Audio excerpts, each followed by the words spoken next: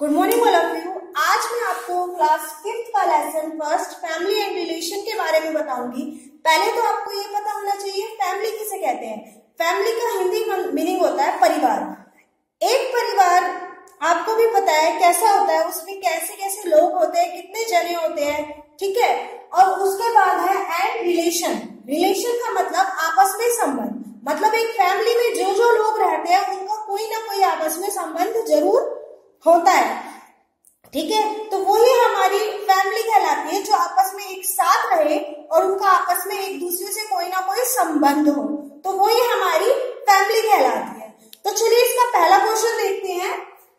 Question number first what is a family जैसे मैंने अभी बताया था फैमिली किसे कहते हैं? A family is a group of people who are related to one another family वो कहलाती है जो एक जो इंसान एक घर में रह रहा है और उनका आपस में एक दूसरे से कोई ना कोई संबंध हो, वही हमारी क्या कहलाती है? फैमिली कहलाती है। फिर क्वेश्चन सेकंड है how have family pattern change with time जैसे कि आपको पता ही है, आजकल क्या हो रहा है फैमिली का पैटर्न चेंज होता जा रहा है जैसे फैमिली पैटर्न चेंज होता जा रहा है कि आ, पहले क्या रहता था पहले के टाइम में कि हमेशा ज्वाइंट फैमिली रहती थी मतलब संयुक्त परिवार रहता था जिसमें दादा दादी चाचा ताऊ सब एक साथ रहते थे लेकिन अब कुछ ऐसी ऐसी चीज़ें हो चुकी है जिससे फैमिली पैटर्न बिल्कुल चेंज हो चुका है अब केवल एक ही परिवार रहता है एक फैमिली में जैसे मम्मी पापा और बच्चे तो ये किस वजह से रह रहा है कुछ कुछ इस वजह से भी रह रहा है कि लोग बाहर अपना काम देखने जा रहे हैं ठीक है उन्हें इतने पैसे वहाँ नहीं मिल रहे तो दूसरी जगह वो सोचते हैं कि अपने गाँव में इतने पैसे नहीं मिल रहे तो बाहर इतने पैसे मिल रहे हैं तो अपनी फैमिली को छोड़ के वो बाहर पैसे कमाने चले जाते हैं ठीक है तो इस वजह से फैमिली का पैटर्न जो है वो चेंज होता जा रहा है अब देखिए इसमें ये लिखा है family pattern have change to due to demand of a nuclear family अब न्यूक्लियर फैमिली जो एकल परिवार है उसकी डिमांड बढ़ती जा रही है क्यों बढ़ती जा रही है क्योंकि लोग बात क्या कहते हैं कि अपनी फैमिली को छोड़ने के बाद ये सोचते हैं कि हाँ भाई मुझे वहाँ ज़्यादा पैसा मिल रहा है तो मैं यहाँ पे अपना टाइम वेस्ट क्यों करूँ यही सोचता है हर कोई अगर मुझे गाँव से ज़्यादा शहर में पैसे मिल रहे हैं और वही काम है तो मैं शहर में जाना उस जगह जाना पसंद करूँगा, ठीक है? तो ये इसी वजह से फैमिली पैटर्न क्या होता जा रहा है चेंज होता जा रहा है। नेक्स्ट क्वेश्चन है how does are transferable job affect the size and structure of family अब इसमें वही चीज़ बताइए कि एक ट्रांसफरेबल जॉब होती है हमारी ट्रांसफ़र एक जगह से दूसरे दूसरे स्थान पर हमें स्थानांतरित किया जाता है। उससे भी हमारा फैमिली क्या होती जा रही है? फैमिली सिकुड़ती जा रही है होती जा रही है। लोग एक जगह रहते हैं, फिर उनका ट्रांसफ़र हो जाता है दूसरी जगह तो वो दूसरी जगह चले जाते हैं। तो ये भी फैमिली फैमिली पैटर्न को चेंज कर रही है हमारी। जो हमारी ज्वाइंट फैमिली है, उस पैटर्न को चेंज हो रहा है। ठीक है? कैसे चेंज हो रहा है? People engage in transferable job usually have to shift from one place to another कि वो शिफ्ट कर जाते हैं, एक प्लेस से दूसरे प्लेस में शिफ्ट हो जाते हैं एवरी थ्री और टू ईयर और हर दो या तीन साल में वो अपने प्लेस को शिफ्ट कर जाते हैं एक जगह से दूसरी जगह चली जाती है their family also move with them और उनके साथ उनकी फैमिली भी चली जाती है मतलब अब किसी फैमिली मेंबर जो फैमिली मेंबर कमाने वाला है उसका ट्रांसफ़र हुआ है पैसे वही अर्न कर रहा था पैसे वही कमा रहा था अब उसका पैटर्न उसका ट्रांसफ़र कर दिया गया है एक जगह से दूसरी जगह पे स्थानांतरण कर दिया गया है तो लोग उसके फैमिली भी तो उसी के साथ जाएगी उसके बच्चे उसकी वाइफ उसी के साथ जाएगी तो पूरी की पूरी फैमिली ही उसके साथ चली जाती है ठीक है इसी वजह से अब पूरी फैमिली मूव हो रही है जा रही है मतलब एक स्थान से दूसरे स्थान को और इस वजह से भी फैमिली पैटर्न सुकुड़ रहा है, हमारा चेंज हो रहा है ज्वाइंट फैमिली न्यूक्लियर फैमिली में चेंज हो रही है। नेक्स्ट क्वेश्चन है आपका what cause displacement what cause of displacement displacement का क्या कोज है? क्या क्या कोज क्या है? Displacement is living a place under some compulsion it can be due to the construction of dams bridge bridge flyovers etcetera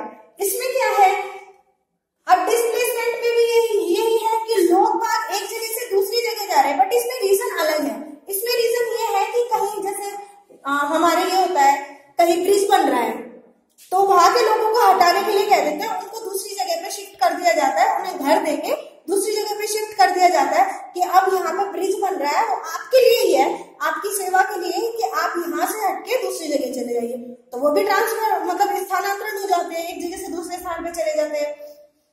और dam बनता है वो मतलब ब्रिज बन जाता है डैम बन जाता है, कुछ भी बन जाता है तो वो एक जगह से दूसरी जगह पे चले जाते हैं। तो इस वजह से भी हमारा क्या हो रहा है, इस वजह से भी ये हो रहा है कि लोग एक जगह से दूसरे स्थान पे, दूसरे स्थान पे अपने काम को छोड़ छोड़ के चले जाते हैं और दूसरी जगह पे उनका काम मिल जाता है लेकिन women grown over the year अब कुछ पहले औरतों को क्या होता था? इतना इंपॉर्टेंस नहीं मिलता था। इसमें पूछा how have women grows over the year इन कुछ वर्षों में वुमेन्स कितनी ग्रो कर गई है? पहले क्या होता था? वुमेन्स को इतना कुछ मतलब वुमेन्स को इतना अपॉर्चुनिटी मिल, नहीं मिल पाती थी। आगे बढ़ने नहीं दिया जाता था। कि लड़कियाँ को ये सोचा जाता था, लड़कियाँ केवल घर के काम के लिए और बाहर के काम जो कमाने जाएगा, वो केवल लड़के ही है। लेकिन अब के टाइम में अब के टाइम में लड़कियों को लड़कों से ज़्यादा अपॉर्चुनिटी मिली हुई है।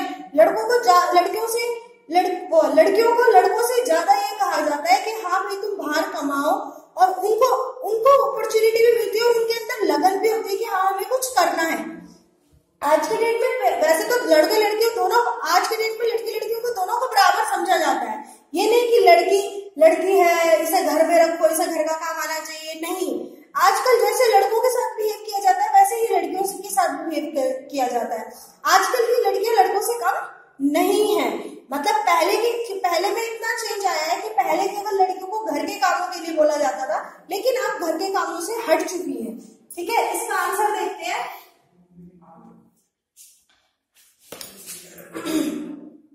today are today are today's womens are well educated today की वुमेन कैसी है are well educated well educated है हाईली क्वालिफाइड क्वालिफाइड है and some and self reliants और सेल्फ रिलेंट्स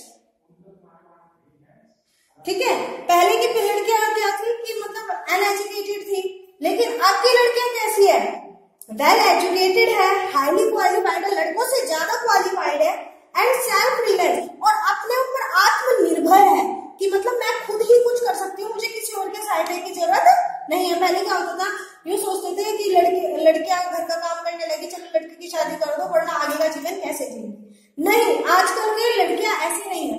आजकल की लड़कियाँ तो बल्कि यूँ सोचती है, मेरी शादी लेट हो ताकि मैं कुछ अच्छा कर सकूँ, अपनी ज़िंदगी में आगे बढ़ सकूँ। ठीक है? तो ये हाईली एजुकेटेड हो गई और सेल्फ रिलायंस सेल्फ रिलेंट हो गई है लड़कियाँ। फिर नेक्स्ट क्वेश्चन है आपका list some values taught by family family में जो हमारी वैल्यू सीखी सिखाई जाती है कुछ वैल्यू ऐसी होती है जो हम फै, हमारी फैमिली ही सिखा सकती है। तो वो हमें बतानी कौन कौन सी ऐसी वैल्यू है जो हम फैमिली के अंदर सीखते हैं। ऐसी कई वैल्यू है जो हम फैमिली के अंदर सीखते हैं। फैमिली हमारी पहले तो आपको पता पता होना चाहिए फैमिली हमारा फ़र्स्ट स्कूल होता है। First school is our family जो हमारा फ़र्स्ट स्कूल होता है वो हमारी फैमिली होता है क्योंकि हम उसी में से सीख के आगे बढ़ते हैं यह आपको भी पता है ठीक है तो इसमें हमें पूछना है कुछ वैल्यू टोच की टोट की जाती है मतलब पढ़ाई जाती है फैमिली में वो कौन कौन सी वैल्यू है some values some values some values taught by a family are some values taught की जाती है फैमिली में वो कौन कौन सी है फ़र्स्ट है obeying and paying paying respect to elders मतलब हमें अपनी एल्डर जो हमसे बड़े हैं उनकी रिस्पेक्ट करनी चाहिए उनकी बात माननी चाहिए, है ना? वो हमें कहाँ से मिलता है? फैमिली से मिलता है। जब हम जो हमसे बड़े होते हैं, अगर हमें जैसे हम बचपन में होते हैं तो हमें पता नहीं होता हमें किससे कैसे बात करनी है। नहीं पता होता हमें कि किससे कैसे बात करनी है। हम सबसे तू तड़ाक से बात करने लगे थे। हमारे पेरेंट्स हमें टोकते हैं, नहीं, बेटा, ये आपसे बड़ा है। ठीक है? नहीं, बेटा, ये आपसे बड़ा है, इससे रिस्पेक्ट से बात करो। नहीं, बेटा, ये गलत बात है, इससे ऐसे ऐसे बात नहीं करते। चाहे बेशक से तुमसे छोटा है तो लेकिन उससे प्यार से बात करो। बोलते हैं ना ऐसे? और फैमिली का बहुत इफ़ेक्ट पड़ता है। अगर फैमिली छोटे बच्चों से अच्छे से बात करेगी तो वो भी आगे जाके अपने अपने अपने फैमिली मेंबर से भी अच्छे से बात करेगा। ठीक है? नेक्स्ट है to speak the truth family member ये सिखाता है कि हमें हमेशा सत्य बोलना चाहिए, सच बोलना चाहिए। क्योंकि जब बच्चा सच बोलेगा तो ये होगा कि गुस्सा, कुछ गलतियाँ होती है, वो झूठ बोल जाता है। लेकिन अगर बच्चा सच बोलेगा तो उसमें ये होता है कि आगे जाके ना उसे कोई प्रॉब्लम प्रॉब्लम सहन नहीं करनी पड़ती। एक झूठ के पीछे उसे बहुत झूठ बोलने पड़ जाते हैं। इसीलिए कभी झूठ सच कैसा ही हो, गलत हो, एक बार अपनी फैमिली को बता दो, एक दो बार गुस्सा करेगा। ठीक है, गुस्सा करेगा माना लेकिन थोड़ी देर बाद आपको समझा के शांत भी हो जाएगा। आपको समझाएगा, गलत बात नहीं बताएगा। इसलिए कभी अपनी फैमिली से झूठ नहीं बोलना चाहिए। नेक्स्ट है आपका not to quarrel with anyone कि मतलब किसी के साथ हमें अगर मतलब जैसे ये रहता है ना छिड़छटा पड़ना ये हो जाता है। जैसे कैसे बताओ, किसी से हम बदतमीजी से बात करते हैं, नहीं, ऐसे नहीं करना चाहिए। हमें सबसे अच्छे से बात करना चाहिए, शांति से बात करना चाहिए। नॉट टू स्टेल थिंग्स हमें चीज़ मतलब किसी जैसे कोई चीज़ होती है, हम सोचते हैं कि अरे ये थे ये चीज़ है, मेरे को ज़रूरत है, मुझे चाहिए नहीं, अगर वो ज़रूरत है, ठीक है, माना पेरेंट्स से मांगो, शायद वो आपको दे दे। किसी चीज़ के ऊपर एक वो नहीं होनी चाहिए आपकी कि हाँ भाई, मुझे चाहिए ही चाहिए। नहीं, ऐसा नहीं होना चाहिए। नेक्स्ट है not to damage our books and other and other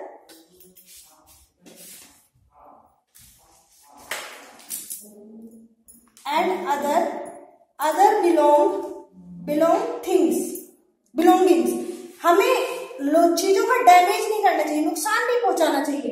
यहाँ केवल बुक्स के बारे में बताया बताया हुआ है, अगर बुक्स बुक्स तो चलो ठीक है, आप डैमेज नहीं करोगे जब तक आप डैमेज करनी ही नहीं चाहिए बुक तो।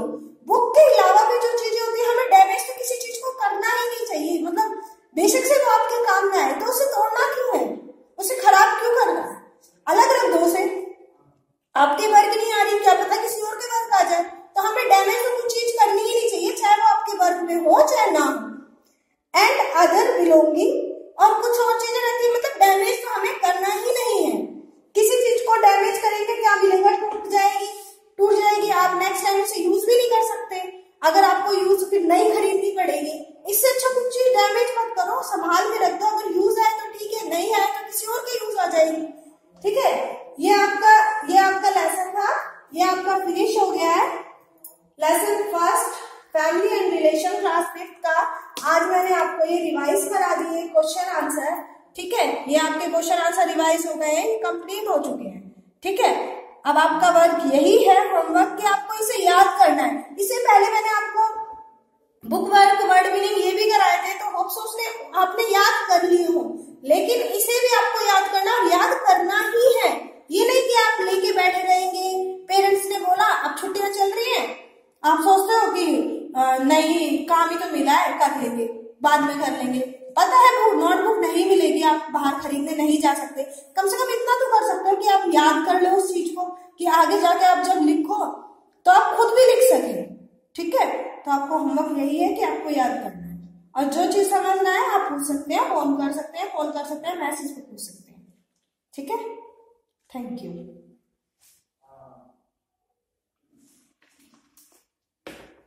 okay thank you